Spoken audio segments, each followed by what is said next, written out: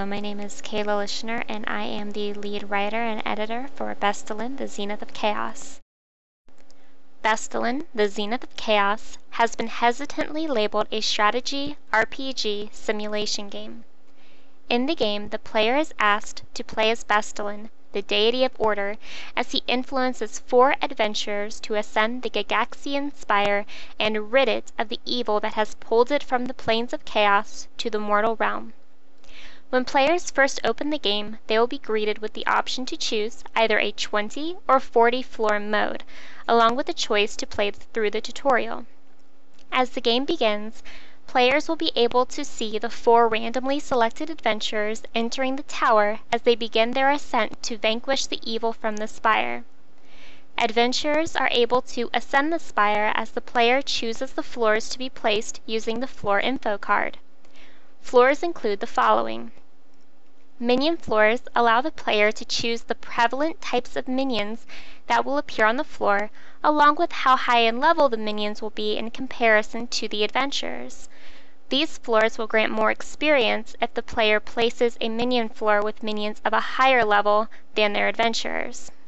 Loot floors are the only way that adventurers can gain abilities and items.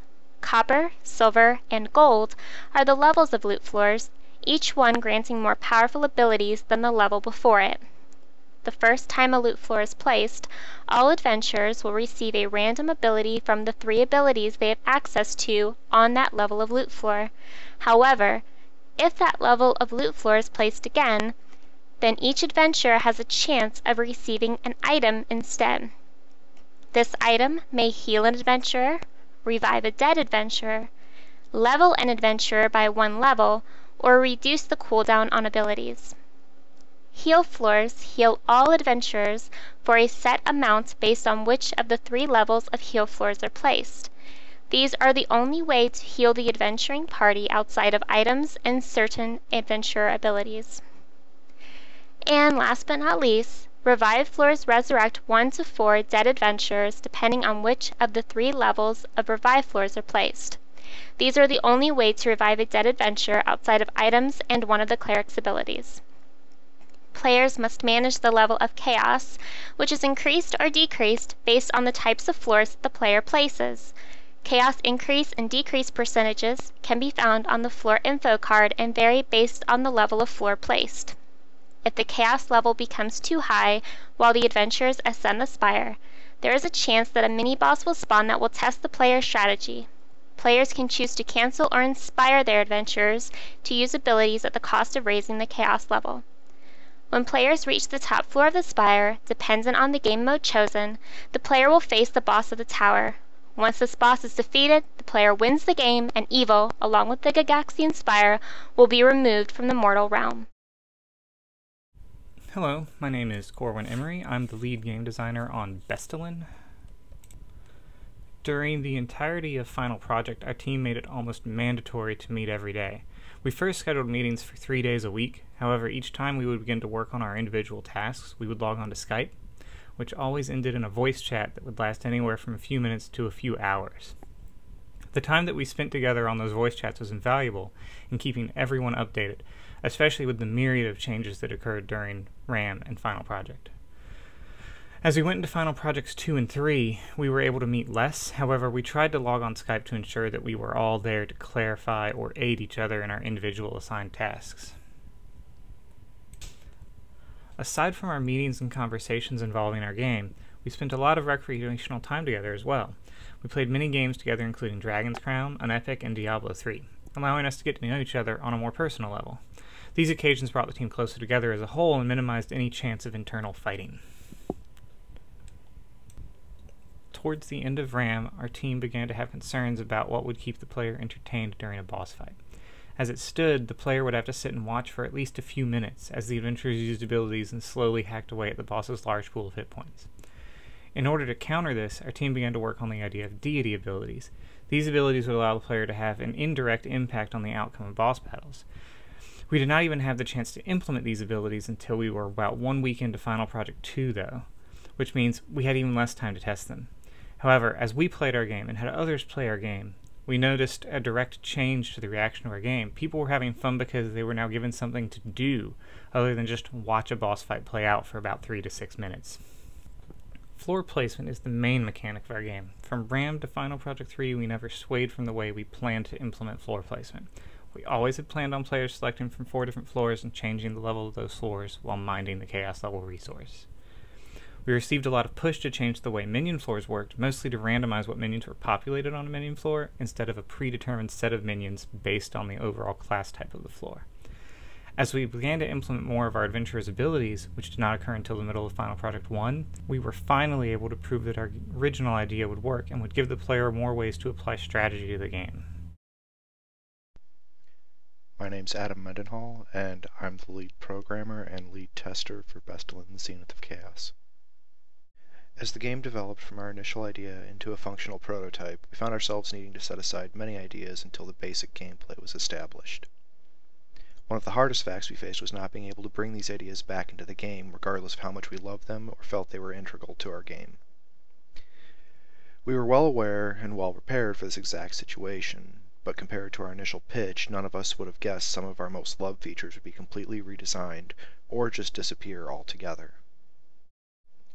When a player selected a minion floor, our initial concept was that they would be shown a card that gave them a prediction of what they could expect to face.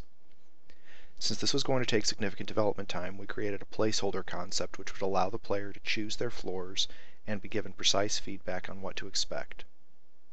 This feedback was always planned to exist, but not to be given so blatantly to the player.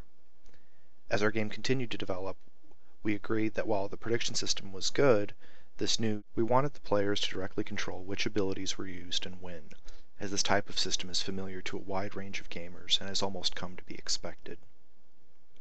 This was the focus of intense discussion before we finally decided to take this control away from the player.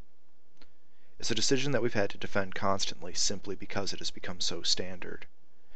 But allowing the player this much control made the game too easy, while giving the ability system a learning curve all its own.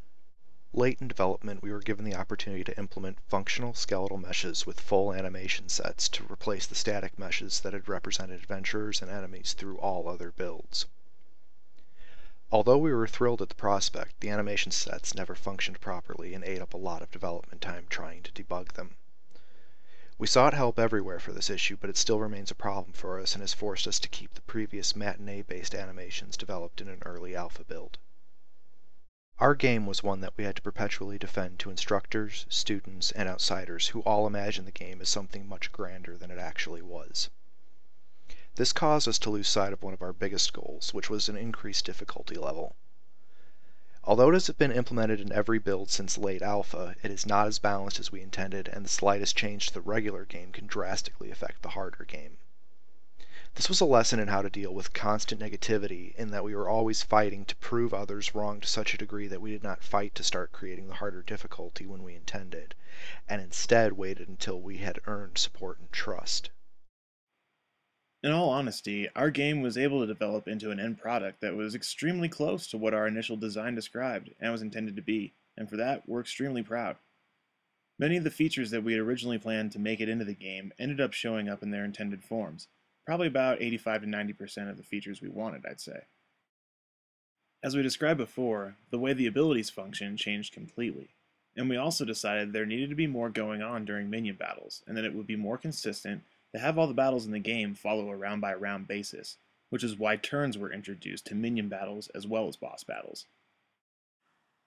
We also made some sweeping changes to the HUD. Early on, the select floor buttons were a sort of radial menu that popped up and expanded, giving the player their floor options. Now we've taken that element of the HUD and streamlined it with the clearer, easier to use floor card system seen in the latest build of the game. We decided early on that we wanted a unique look for Bestellen. It was agreed upon that a pop-up, storybook-like feel to the visuals would present a nice, novel aesthetic appeal to the game. While aesthetic elements like sound, music, and art aren't things that are focused on early whatsoever in these classes, it was a good idea to have those things in mind so that we could plan for them and decide for sure what we knew was going to work best for our project. Placeholder concept art pieces were used for the first two months of work, then as we went into the final phases, we started replacing the placeholders with colorful pixel art renditions of the characters and enemies. While we weren't able to completely get pixel art in for all the bosses, we think that we were able to come out in the end with a great representation of how the art might evolve in later builds of the game. I went into this project having never touched Adobe Flash, and by the end of it, I feel as though I can at least say I have an intermediate skill with it. As I learned not just how to animate and place objects in the scene, but also how to properly execute ActionScript to manipulate those objects and even get Flash to talk to the UScript. I also feel like I learned much more complex scripting methods in Unreal, thanks to having a programmer on our team for a few weeks. I was forced to dig through and dissect a good amount of code that I'd never really had to interact with before. I feel like I've become a much more well rounded designer over the course of these four months. I felt the final project allowed me to expand my horizons further than previous classes had allowed. Through the help of my teammates, I became much more proficient in Photoshop and also learned to use Scaleform and ActionScript 3 in Flash to create our game's HUD. I was also able to slowly become more independent with Unreal Script as our game needed many custom scripts, not allowing us to pull as heavily from UDK's default scripts.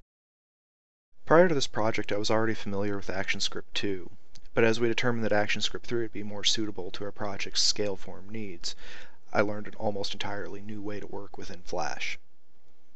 Also, through sheer volume of code written, I learned new techniques and styles to increase my productivity that seems all too obvious upon reflection.